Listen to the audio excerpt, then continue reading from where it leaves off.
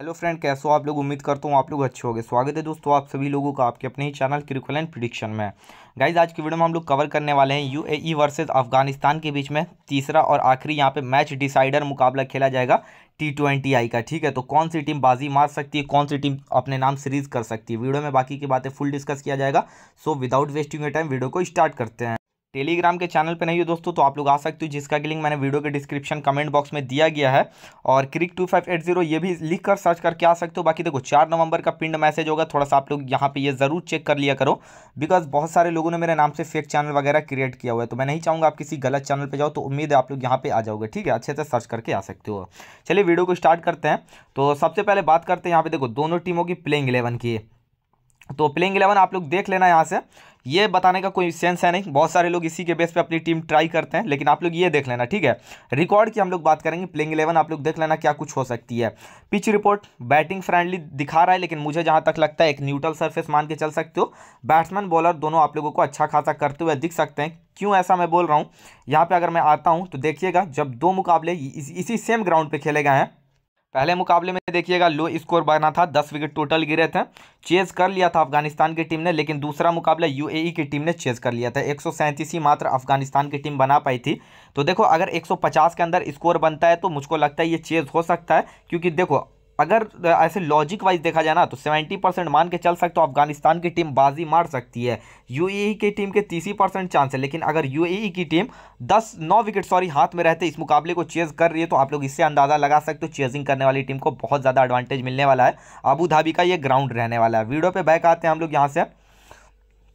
यहाँ पे देखिएगा हाईएस्ट स्कोर बना था 225 सात विकेट के नुकसान पे लोवेस्ट देखिएगा छाछठ, नौ विकेट के नुकसान पे।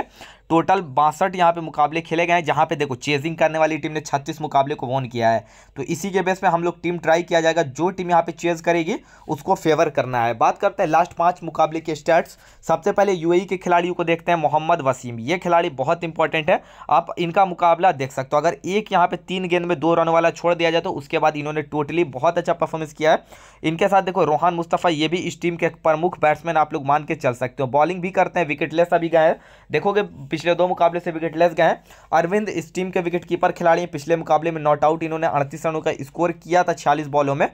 उससे पहले भी देखोगे ठीक ठाक दो पारियाँ इन्होंने खेली हुई है, बाकी स्टार्टिंग मिलता है, बड़े में कन्वर्ट नहीं कर पाते हैं। रिजवान का फॉर्म बहुत अच्छा नहीं दिख रहा है, अगर एक अड़तालीस रनों वाली पारी छोड़ दी जाए तो बॉलिंग भी नहीं करते हैं, उससे पहले बॉलिंग कर रहे थे। नीचे आते हैं जवार फरीद की बात करते हैं। रिसेंट फॉर्म इनका भी कोई खासा नहीं है। हाँ बॉलिंग से इन्होंने लेकिन दो विकेट निकाला था तो ये हो सकते हैं इंपॉर्टेंट खिलाड़ी। बासिल हमीद, देखो, वैसे अगर टेक्निक वाइज देखा जाए ना तो बासिल हमीद इस टीम के एक प्रॉपर ऑलराउंडर खिलाड़ी हैं, लेकिन ना इनको बैटिंग ऊपर करवाया जा रहा है, ना ही इनसे बॉलिंग करवाया जा रहा है तो फ़िलहाल ये भी इंपॉर्टेंट में नहीं दिख रहे हैं।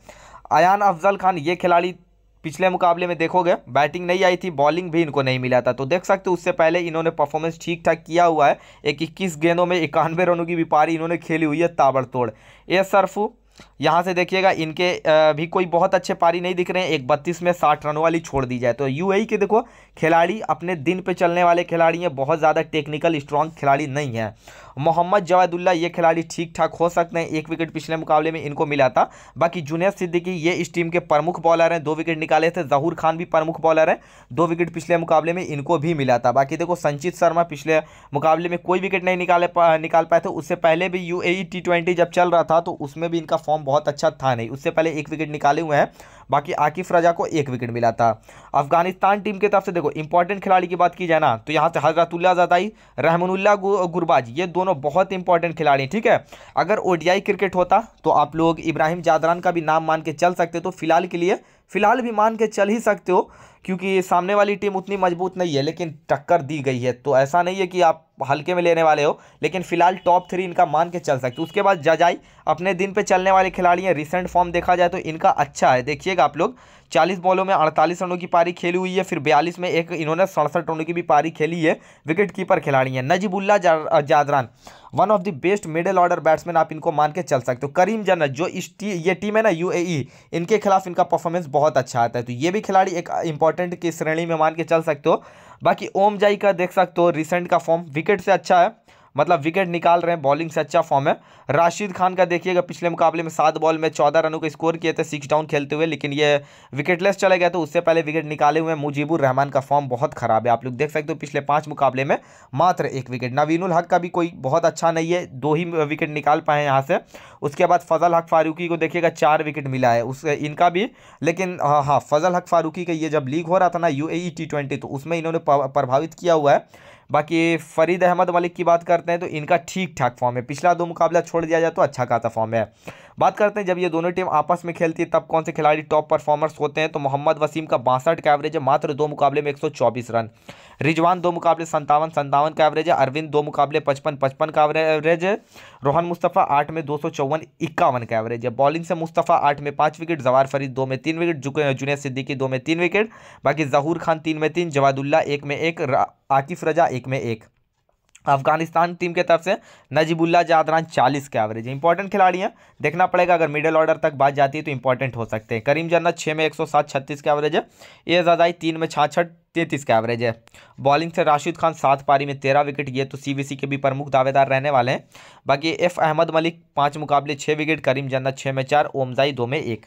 वेन्यू पे बात करते हैं तो वेन्यू पे देखिए मोहम्मद वसीम का अगेन नाम रिपीट हो रहा है। तो ये खिलाड़ी तो एक मस्ट पिक वाले खिलाड़ी हैं, बयालीस के एवरेज है, आठ मुकाबले, तीन सौ एक रन। रिजवान दो मुकाबले, चौवन, सत्ताईस का एवरेज है, अरविंद दो मुकाबले, पचपन, चौबीस का एवरेज है, मुस्तफ़ा उन्नीस मुकाबले, तीन सौ तिरपन, बाईस का एवरेज है। बॉलिंग से रोहन मुस्तफ़ा तेरह में पंद्रह विकेट जूनियर सिद्दीकी आठ में आठ विकेट जेड खान जहूर खान मतलब दस में आठ विकेट, जवार फरीद दो में तीन विकेट जवादुल्ला एक में एक विकेट। अफ़गानिस्तान टीम के तरफ़ से बात करते हैं तो देखिएगा बैटिंग से करीम जन्नत का बयालीस का एवरेज है, नौ मुकाबले में दो सौ छब्बीस रन है। जादरान, नजीबुल्ला जादरान छत्तीस का अगेन इनका भी एवरेज है, उनका बयालीस का है, करीम जन्नत का सॉरी बयालीस का एवरेज, इनका छत्तीस का एवरेज है। जजाई का तैंतीस का एवरेज है, ए जजाई का तैंतीस का एवरेज है, हजरतुल्ला जजाई का तीस का एवरेज है। खिलाड़ी अच्छे हैं, लेकिन उतना बहुत इंप्रेसिव रिकॉर्ड तो नहीं दिख रहा है। गुलबदीन नाइब का भी तीसी का एवरेज है, नौ मुकाबले एक सौ पंद्रह रन है, बाकी गुरबाज का आठ मुकाबले एक सौ का एवरेज है। बॉलिंग से राशिद खान का वेन्यू पे अच्छा रिकॉर्ड है, तेईस पारी में तैंतीस विकेट करीम जन्नत नौ में सात। नवीनुल हक सात में नौ, सॉरी, सात में छः नूर अहमद चार में चार, ओमजाई दो में एक, फजल हक फारूकी तीन में एक, मुजीबुर रहमान तीन में एक। बाकी की बातें ड्रीम इलेवन पे चल के हम लोग डिस्कस करते हैं। देखो दोस्तों, बात करते हैं सबसे पहले विकेट कीपर ऑप्शन तो सबसे सेफ़ में आप लोगों को गुरबाज देखने को मिल रहे हैं। जजाई का भी ऑप्शन है, लेकिन नीचे खेलेंगे तो गुरबाजी बेस्ट में अरविंद, आप चाहो तो यू के टीम के तरफ़ से जीएल में ट्राई करके चल सकते हो। ठीक है, होम ग्राउंड है, एडवांटेज मिल सकता है। बैटिंग से वसीम मोहम्मद इंपॉर्टेंट खिलाड़ी हैं, जिस प्रकार का परफॉर्मेंस दिए हुए हैं। हजरतुल्ला जाजाई और Ibrahim Zadran top three Afghanistan team को ही मैंने फेवर किया हुआ है, फिर भी मुझको देखो सेवेंटी परसेंट चांसेस लगता है कि इन्हीं की टीम जीतेगी। तो सात सात खिलाड़ी मैंने इनके टीम के अपने टीम में ट्राई किए हैं। ऑलराउंडर सेक्शन से करीम जन्नत, रोहान मुस्तफ़ा को मैंने टीम में ट्राई किया है।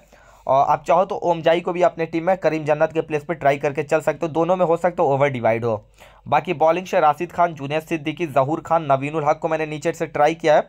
और उसके बाद देखो, फराद अहमद मलिक पिछले मुकाबले में खेले थे, इनको मैंने अपने टीम में ट्राई किया है और डेथ में बॉलिंग वो कर सकते हैं। तो फ़िलहाल बात करते हैं कैप्टन वाइस कैप्टन के। कैप्टन मेरे गुरबाज रहने वाले हैं वीसी के तौर पर मैं राशिद खान के साथ जा रहा हूँ। ऑप्शन की बात की जाए तो वसीम मोहम्मद का ऑप्शन है, आप इनको बिल्कुल बना के चल सकते हो, ठीक है? लेकिन ये बॉलिंग से ज़्यादा श्योरिटी नहीं है तो इस वजह से मैंने विकेट कीपर जो कि गुरबाज करने वाले हैं, उनको बना रहा हूँ। बेस्ट में लग रहे हैं Rashid Khan wicket taker nature के बॉलर हैं, वो भी बेस्ट में रहने वाले हैं। तो देख सकते हो, फ़िलहाल कुछ इस प्रकार की टीम है चॉइस एलेवन की एप्लीकेशन है। आप चाहो तो यहाँ पे आ सकते हो, यहाँ पे देख लेना। पाँच सौ इकतीस लोग ऑलरेडी ज्वाइन हो चुके हैं crick two five eight zero same Telegram का ज्वाइनिंग कोड है। आप लोग टेलीग्राम पे भी यही लिख के ज्वाइन हो सकते हो और यहाँ भी आ सकते हो। रेफरल कोड लगा लेना, आप लोगों को पाँच सौ रुपये का यहाँ पे कैश बोनस मिल जाएगा। हंड्रेड परसेंट ट्रस्टेड एप्लीकेशन है। डिपॉजिट ऑफ़र वगैरह भी चल रहा है, आप लोग देख सकते हो। फ़र्स्ट डिपॉजिट करोगे एक रुपये से लेकर दस हज़ार तक तो आप लोगों को हंड्रेड परसेंट कैश बोनस भी मिलने वाला है। रैंक क्लास नहीं होगा हेड टू हेड वगैरह में रिफंड कर दिया जाता है पैसा तो आ ज़रूर जाना। मिलता है और अच्छी वीडियो के साथ। वीडियो को लाइक चैनल को सब्सक्राइब करना। तब तक के लिए गुड बाय टेक केयर